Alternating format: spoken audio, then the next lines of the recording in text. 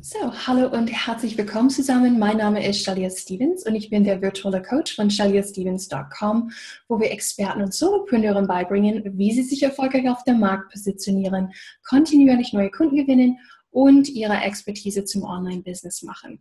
Und heute sitze ich hier zusammen mit Steffi Schwarzack. Hallo Steffi. Hallo Shalia. Guten Morgen. Steffi ist eine äh, total liebe Kundin von mir. Wir haben fast, glaube ich, ein ganzes Jahr oder ein bisschen länger sogar mhm. zusammengearbeitet, ja, Steffi. Und in diesem Video geht es um eine Kundenstimme. Wir wollen zurückblicken ähm, auf die gemeinsamen Erfahrungen. Und wie so gewohnt, immer zu Anfang frage ich dich, Steffi, könntest du äh, dich vorstellen, äh, den Zuhörern und Zuschauerinnen, sagen, wer du bist, wo du lebst ähm, und was du tust in deinem Business und vor allem, wem du hilfst mit dem, was du tust. Mhm. Ja, gerne. Ich, wie du schon gesagt hast, heiße Steffi Schwarzack. Ich arbeite ähnlich wie du mit Solopreneuren, manchmal auch mit Selbstständigen, die ein kleines Team haben, an ihrem Auftritt oder immer dann, wenn sie sagen, ich möchte jetzt eine Bühne betreten und sozusagen mich mehr zeigen und darstellen, Meistens stehen sie dann an dem Punkt, wo die aus einer Arbeit zum Beispiel mit einem Marketingberater schon kommen. Die wissen also schon, in welche Richtung es gehen soll und merken, sie brauchen einfach noch mehr Außenaufmerksamkeit. Und dann arbeite ich mit denen an ihrer Präsenz und an ihrer Ausstrahlung. Und das tue ich im Grunde ja durch das Handwerkszeug, Stimme, Körpersprache und Sprechen, aber eben auch Mindset, wie du dir vorstellen kannst.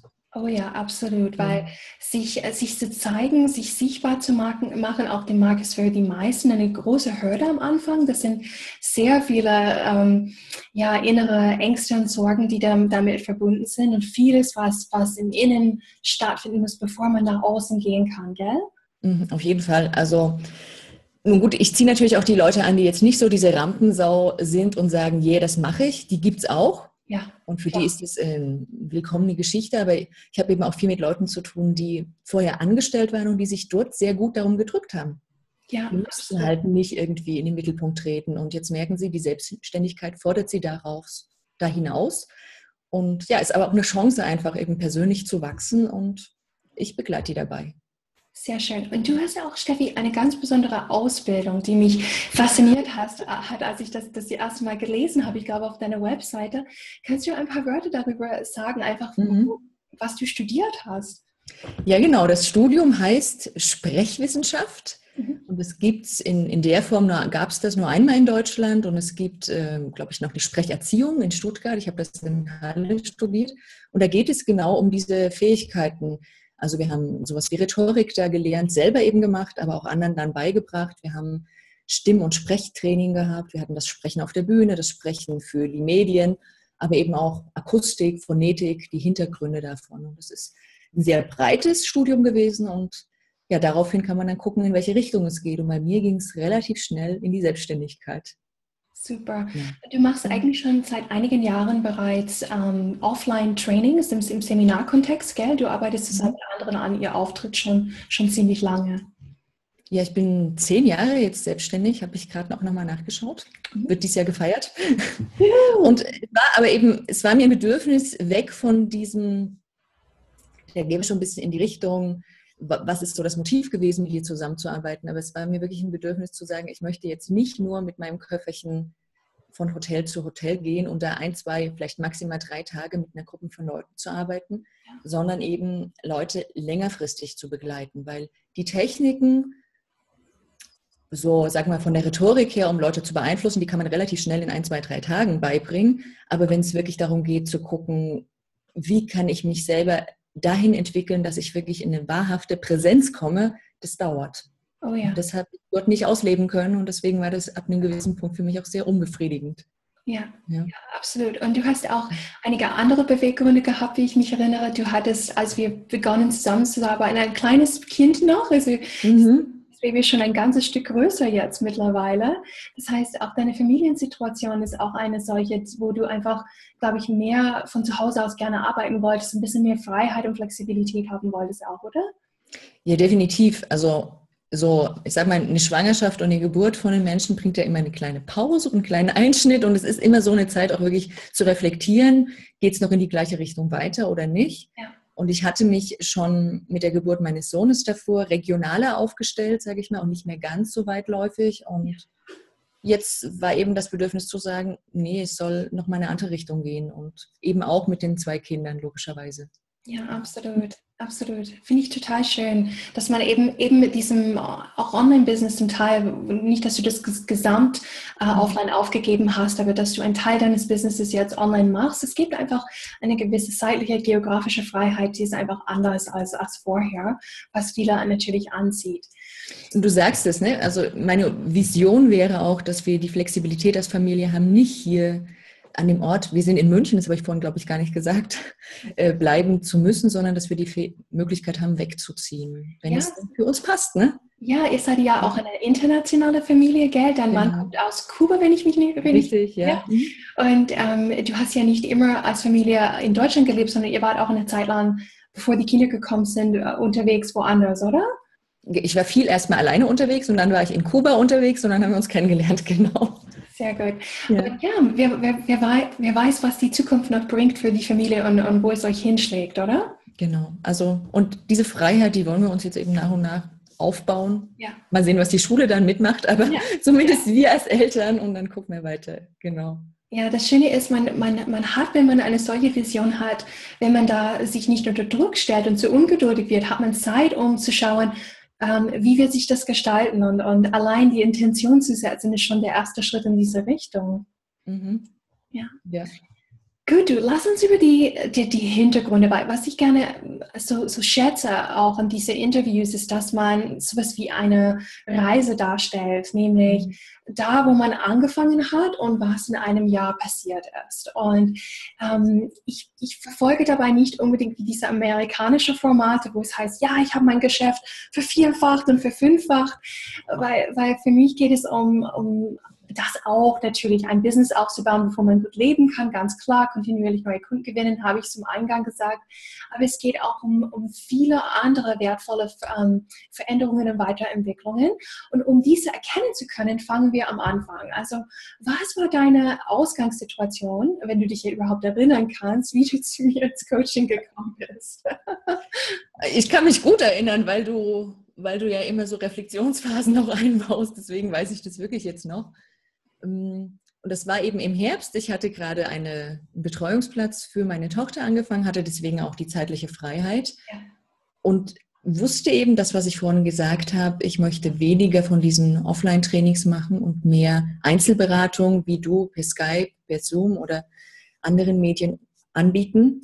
Ja. Das war einfach der Punkt, an dem ich stand und ich wusste, ich möchte gerne ein Stück weit mir auch nochmal Beratung von außen ins Boot holen, in welche Richtung es geht. Weil womit ich mich seit Jahren rumgeschlagen hatte, das muss man dazu sagen, war dieses Thema Zielgruppe, Zielgruppe und Positionierung. Ja. Das war für mich ein Riesenknoten im Gehirn.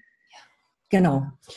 Und mit diesem Hintergrund bin ich dann in das äh, Webinar mit Marit gestolpert, mhm. weil das ging, glaube ich, um Zielgruppe und Positionierung. Ich weiß es nicht mehr genau. Ja, ich glaube, da ja, ja ich glaube, das war da, wo, ja genau, es ging darum, weil ich hatte gerade damals, ich glaube, das war Herbst 2015 ja, ich hatte genau.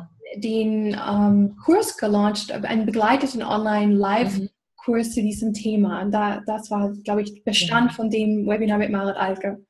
Ja, und genau, und diese, in diesem Kurs ähm, Genau, hast, ich glaube, das war in diesem Webinar, hast du was gesagt, wo es bei mir so, singen mir so die Ohren auf und es hat ganz viel von dem Knoten schon weggenommen. Vielleicht kam es auch an einer späteren Stelle, aber in dem Moment, ich sage jetzt mal, was du gesagt hast, ja, für mich war das eine Aussage, die so ganz erhellend war, nämlich du hast gesagt, Positionierung ist ein Prozess. Und das war für mich so die super Befreiung, dass ich jetzt von diesem, ich muss die jetzt finden und es muss genau die richtige sein, weggeführt hat. Eigentlich total leicht, aber für mich eben ein Riesending. Ja. Und ich weiß jetzt nicht, ob du das ein Stück später gesagt hast, aber auf jeden Fall war dann für mich nach dem Webinar klar, ich mache jetzt erstmal diesen Zielgruppen-Positionierungskurs mit Marit. Ja. Und ich glaube, innerhalb einer Woche des Kurses habe ich mich dann gleich für ein Gespräch mit dir angemeldet und da war klar, okay, jetzt möchte ich mit dir zusammenarbeiten. Ich möchte es noch intensiver als nur in dieser Gruppe haben. Ja, ja, also du warst eben erstmal Teilnehmer im Online-Kurs mit den anderen ja. und dann hast du dich bewegt in Richtung einer 1 zu 1 Beratung. Ja, es, es ging einige Kunden so. Ich glaube, ich habe aus dem Kurs noch nie so viele 1 zu 1 Kunden gewonnen. es war unglaublich. Ja, und und ich bin eben nicht eine, erstaunlicherweise würde ich auch sagen, ich bin sonst jemand, der das sich lange überlegt, aber bei dir war es irgendwie sofort, lieber auf den ersten Blick, ich wusste, das ist jetzt das Richtige, auf das ich gewartet habe. Sehr schön. Manchmal ja. macht es einfach Ping, meine, meine Spüle. Genau, ja. Für mich stimmt, gell? Mhm. Was waren deine Erwartungen, Steffi, als du ins Coaching gekommen bist? Ich meine, wir hatten das Kennenlerngespräch ganz klar und ich, ähm, mhm. das läuft immer so ab, dass man überhaupt erstmal selbst, also dass, dass jemand mir sagt, oder jetzt in dem neuen Fall Simone Förster, unser neuen Enrollment Coach, was sogar die Anliegen sind, wo du hin möchtest. Aber was, was hast du erwartet oder gehofft, als wir begonnen haben? Also, ich habe äh, eben erwartet, dass, ähm, dass ich mit der Begleitung mit dir nach einem Jahr die Umsatzzahlen habe, die ich mir sofort wünsche. Ja. und dass ich ganz schnell vorwärts komme. Meistens so, gell? Und, und, ich bin vorwärts gekommen, aber ich bin definitiv auch langsamer vorwärts gekommen, als es in meiner Erwartung da war. Das, ja. Und es ist nichts, was, äh, genau, was ich jetzt irgendwie dir vorwerfen könnte, sondern du hast mir da eher den Zahn gezogen und gesagt, geh lieber Schritt für Schritt, aber geh. Und, und das war ein ganz, sind jetzt bei den Erkenntnissen ganz wichtige Erkenntnisse, dass ich dass ich eben nur zwei Füße habe, um vorwärts zu gehen. Und diese Abkürzung mit einer U-Bahn oder mit einem Flugzeug, die bringen oft nichts. Ich habe die Erfahrung gemacht, ich muss diesen Weg selber gehen. Ja. Und manche sind halt schneller vom Schritt her und andere sind langsamer vom Schritt her. Und ja. also, genau. Und das war ja nicht die einzige Erwartung. Also ich habe natürlich auch erwartet, dass ich eben mehr sichtbar werde, dass die Website steht und solche Dinge. Und auf diesem Wege habe ich einiges erreicht. Ja, mhm. vielleicht kannst du mir darüber sagen, weil das ist für viele extrem entlastend und ich merke das bei, bei vielen von meinen Kunden auch. Also sage ich mal, 50 Prozent mindestens haben die Absicht, möglichst schnell nach vorne zu kommen, wenn sie beginnen. Sie, sie mhm. wollen Abkürzungen, Lernkurve reduzieren, ähm, Umsatz so schnell wie möglich, so schnell wie möglich von ihrem Business leben können. Gut, in deinem Fall war das anders, weil du hattest ja schon dein, dein Geschäft. Aber dann, dann, dann kommen sie an Bord und häufig merke ich, ähm, wenn überhaupt, dass sie gut unterwegs sind. Die, die gehen nicht langsam, schon, schon nicht vorher, bevor sie zu mir gekommen sind. Ähm, nur sie gehen nicht dieser rasanten Tempo, was, was sie sich wünschen, dann peitschen sie sich die ganze Zeit, dass sie nicht schneller sind als das. Das ist irgendwie so ein, ein typisches ähm, Unternehmerphänomen. Ich weiß nicht, woher wir das haben, aber viele von uns haben das, ich inklusive. Und äh, dann reden wir im Coaching eben über diese Babyschritte, also was es bedeutet, ein Projekt anzufangen und es zu Ende zu bringen, Schritt für Schritt für Schritt. Und warum das dich über lange Zeit zu einem soliden und nachhaltigen Geschäft führt, anstatt irgendwie alles zu ähm, überstürzen. Also was, was, was bedeuten diese Babyschritte für dich überhaupt? Ähm, diese Babyschritte bedeuten, also das heißt ja erstmal, ich mache im Außen sozusagen von meiner Handlung her eben gewisse Dinge, Prozesse, die aber machen, dass es sozusagen, ich sage es mal übertrieben, dass meine Seele nachkommt. Ja. ja also ich habe das Gefühl, dass, ähm, dass es Zeit braucht, um wirklich auch in diese Unternehmerrolle nochmal auf eine ganz andere Ebene reinzuwachsen. Und ja. dafür kann das sehr gut sein, langsam zu laufen. Oh ja. Und die, das, der kritische Moment ist ja eigentlich, also Geschwindigkeit ist ja immer in Relation zu sehen. Und genau das ist das Ding. Wenn wir das Gefühl haben, wir laufen zu langsam, steckt da immer ein, ich vergleiche mich dahinter. Mhm. Ja. Und dieses eben zu merken, okay, andere haben einen anderen Speed drauf, was sie definitiv haben, warum auch immer. Ja? Ähm, das ist, ist das eigentlich kritische Moment, glaube ich. Einfach dieses eben sich vergleichen dahinter und dadurch eine Wertung zu treffen, ich bin nicht gut mit meinem Tempo. Oh ja, oh ja. Und genau, das ist so, das ist so eins der, der Erkenntnisse, der wichtigen Erkenntnisse in diesem Jahr. Ja. Ähm, und auch dieses, dieses Learning, was mich jetzt immer noch begleitet, immer wieder zu merken, okay, ich, ja, ich habe mein Tempo und mit dem gehe ich weiter. Also nicht dann stehen zu bleiben, frustriert, Mensch, ich bin jetzt irgendwie langsamer und deswegen mache ich gleich gar nichts mehr, sondern einfach zu sagen, okay, ich gehe in dem weiter, was gerade ist. Ja, absolut. Ja. Ja, das, und das hast du so schön gesagt, das sind zwei, zwei Dinge. Also das eine ist, jeder hat sein eigenes Tempo für die aktuelle Lebensphase, in der man ist. Ähm, und das Tempo wird bestimmt, wie du, wie du sagst, also das, das Seelentempo, wenn man möchte, kommt das Seele nach mit dem, was irgendwie der logische Verstand erreichen will? Oder braucht man doch ein bisschen ähm, Wachstum und Reifezeit, um, um hinzukommen? Und das, das sind etliche andere Faktoren wie die Familiensituation oder dein aktueller Wissensstand über beispielsweise Online-Business und, und wie, mhm. wie, wie, leicht es fließt. Oder es kommen so viele neue äh, Fähigkeiten auf einen zu. In deinem Fall, weil du zum Beispiel einen Podcast aufgebaut hast in diesem Jahr, wo man mhm. erstmal lernen muss, wie geht die Technologie, was will ich überhaupt sagen, äh, komme ich in eine Routine rein, um, um das aufzusprechen, wie macht man das mit der Verbreitung des Contents, wie gewinnt man Interviewpartner. Also so viele neue Skills, die, die auch da sind, die auch das Tempo mitbestimmen. Also etliche Dinge. Und einfach dieses innere Frieden zu schließen mit dem, mit, mit dem eigenen Tempo und das lieb, lieb zu haben oder, oder mhm. lieb zu gewinnen, wenn, wenn man so will, ist so, so, so wichtig, weil definitiv weiß ich eins und du wirst mir sicher recht geben, Steffi, das, wo wir uns auf jeden Fall bremsen, ist, wenn wir, wenn wir uns im inneren Drama verwickeln, über die, mit der Ungeduld und der Geschwindigkeit und der Unzufriedenheit, die raubt uns so viel Kraft, dass wir uns definitiv dadurch verlangsamen. Oder würdest du mir recht geben? Ja, definitiv. Und ähm, mir ist jetzt gerade noch ein, ein Comic eingefallen, den ich letztens sah, den erzähle ich jetzt mal. Und zwar sieht man da eine Schildkröte drauf, die eben klagt, dass sie so langsam ist. Mhm. Und, und ich weiß nicht mehr, wer mit ihr redet, aber jedenfalls reden sie dann über den Hasen, der so schnell ist, der neunmal schneller ist als sie. Und dann wird, der, wird die Schildkröte dann von ihrem Gesprächspartner gefragt, naja, welche Lebenserwartung hast denn du? Naja, so 150 Jahre. Und welche hat der Hase? Fünf Jahre. Also das, ähm, da, da geht es letztendlich auch um Tempo. Und ja, wir wissen nicht, was die anderen dann noch im, im Leben erwartet. Das heißt ja gar nicht, dass die Lebenserwartung so niedrig ist, sondern vielleicht müssen die danach noch ein anderes Business machen, was sie selber noch nicht wissen. Und wir haben Zeit für unser eines. Keine Ahnung. Ja? Ein super schönes Bild. Die Comic, die Comic musst du mir senden, Steffi. Ja, ich werde es mal einscannen. Sehr gut. Und ähm, ich habe ich hab so einen Lieblingsspruch, was von den ähm, amerikanischen Marine kommt. Ähm, ähm die haben dieses Motto, nämlich Slow is smooth, smooth is fast. Also langsam ist äh, glatt oder was sagt man smooth? Es ist, geht leicht, leicht, ja, glatt, ja. leicht nach vorne und, und glatt ist schnell. Also einfach die Idee, wenn, wenn was Wichtiges ansteht, wenn es darum geht, was, was Solides zu tun und umzusetzen, dass man eben langsam geht, um, man, um schnell voranzukommen. Und, und das, das gefällt mir auch sehr gut. Es entlastet auch ein Stück weit. Mhm. Nichtsdestotrotz hast du in dem Jahr sehr, sehr wohl ganz, ganz viel erreicht. Ähm, die haben wir in unserem Celebration Calls schon zweimal mhm. angesehen. Ähm, zum Beispiel die Zielgruppenpositionierung, die total klar ist jetzt. Also glaube ich jedenfalls, dass es so ist. Ähm, du hast deine Website dementsprechend überarbeitet. Du hast neue Pakete entsprechend dazu entwickelt. Du hast deine Podcast gestartet. Ähm, das sind nur so einige faktische Dinge. Ähm, mhm. Was würdest du sagen, waren so innere Dinge, wo du dich weiterentwickelt hast in, in dem Jahr?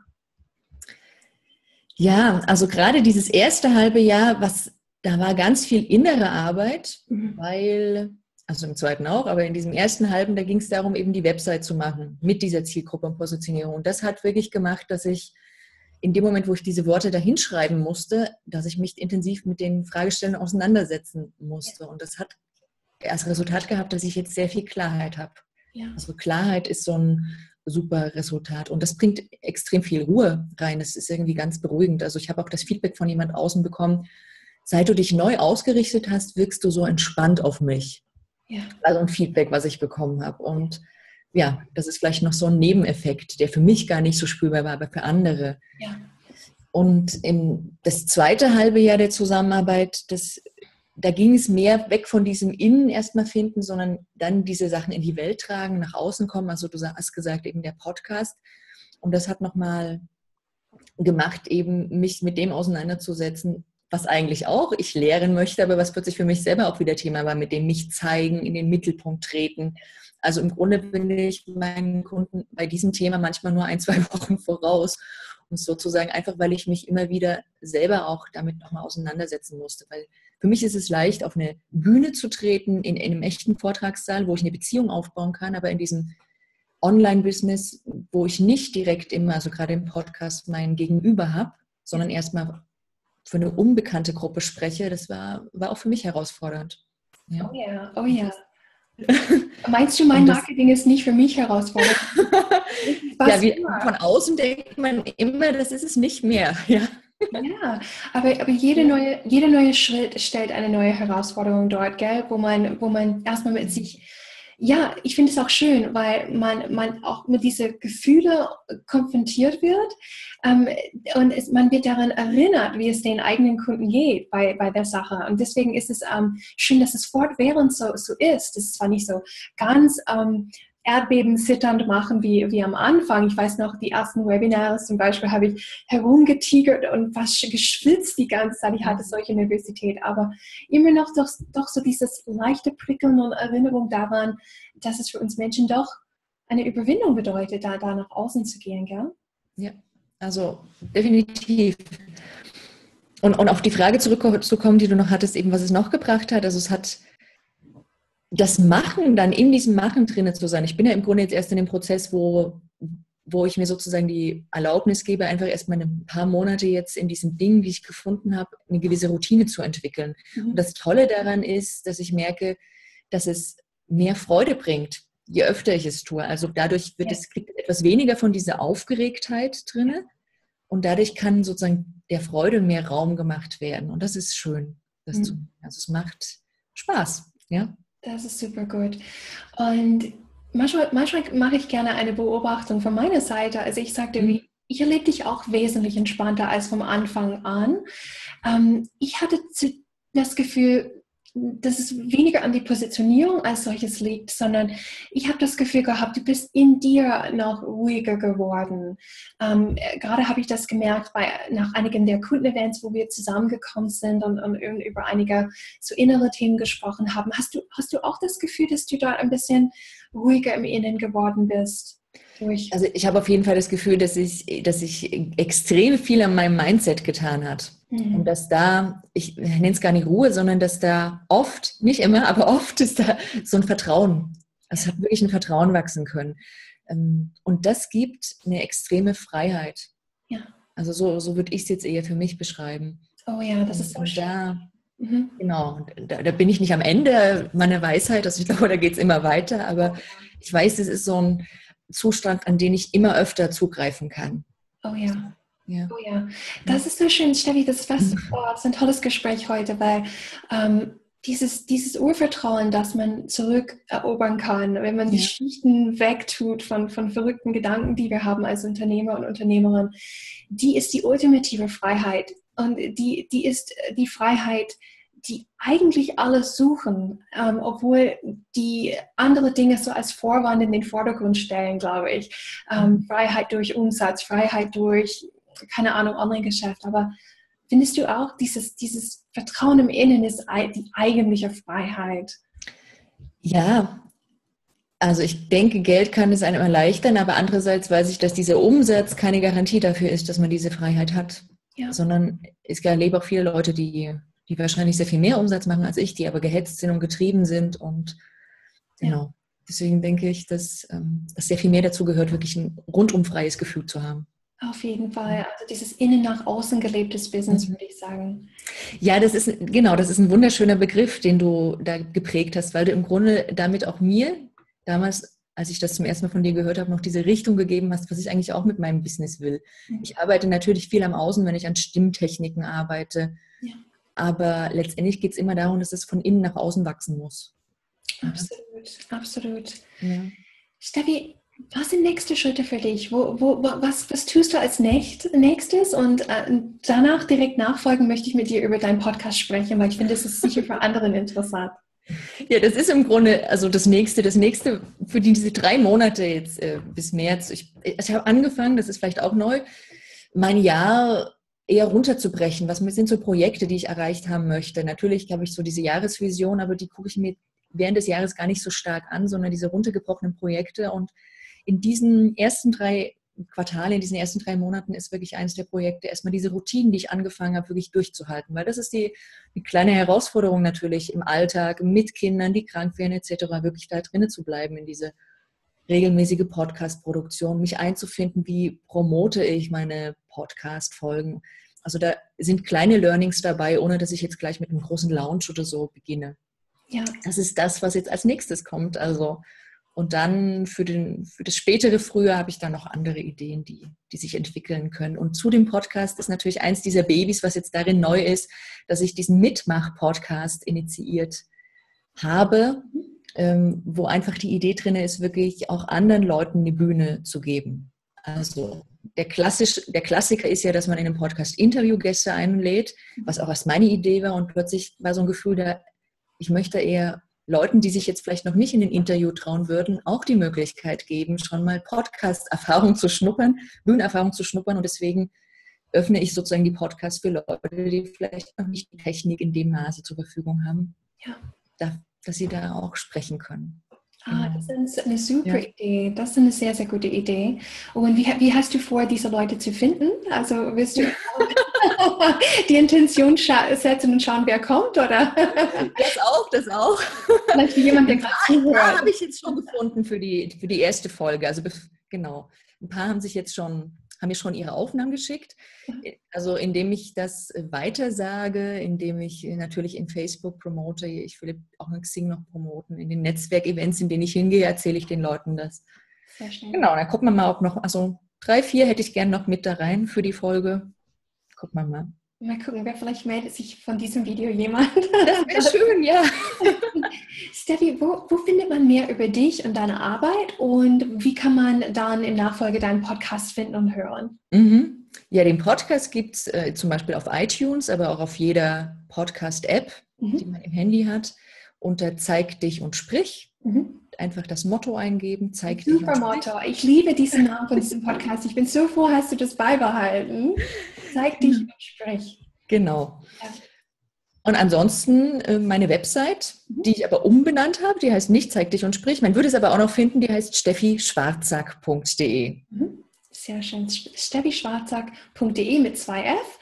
Und genau, und wenn man Slash machen würde, würde man auch noch Slash Mitmach-Podcast, da findet man die Infos für den Mitmach-Podcast. Sehr, sehr schön. Ja. Steffi, zum Schluss frage ich immer bei einer Kundenstimme folgende Frage, nämlich, mhm. Was würdest du denjenigen, die da draußen ähm, gerade uns zuhören und sie denken gerade über eine mögliche Zusammenarbeit mit mir nach, aber sie zögern noch, den Knopf zu drücken für eine virtuelle Kaffeepause.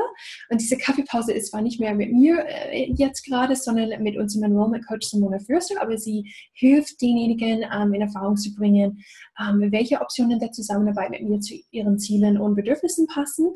Ähm, was würdest du denen raten, die gerade darüber nachdenken und noch zögern?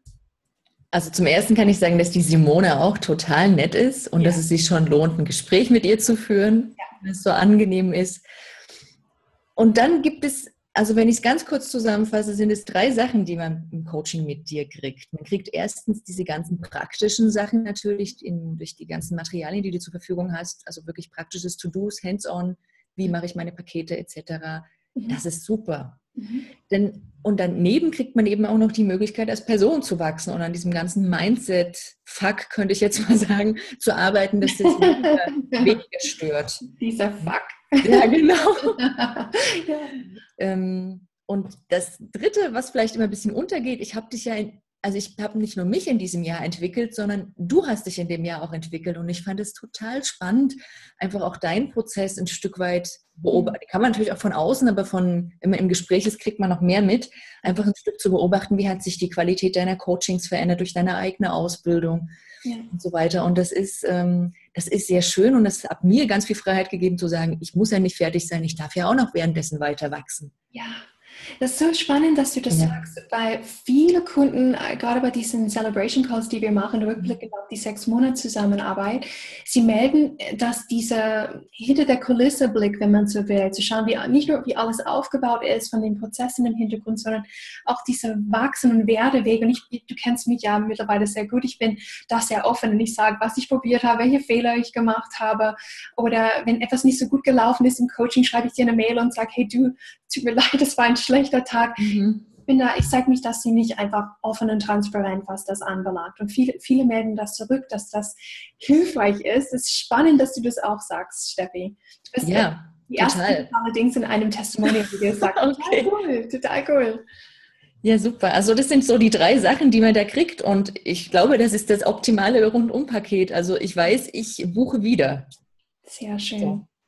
Steffi, es war so ein Vergnügen und eine Freude und eine Ehre, mit dir in dem Jahr zusammenarbeiten zu dürfen. Und ich bin nur für ein Jahr, wenn du, wenn du wiederkommst, wenn du ready bist. Und ähm, vielen herzlichen Dank für die Zeit, die du heute genommen hast und für das schöne Herzgespräch, ähm, was anderen sicher weiterbringt. Vielen Dank. Vielen Dank auch an dich. Gerne. Ja.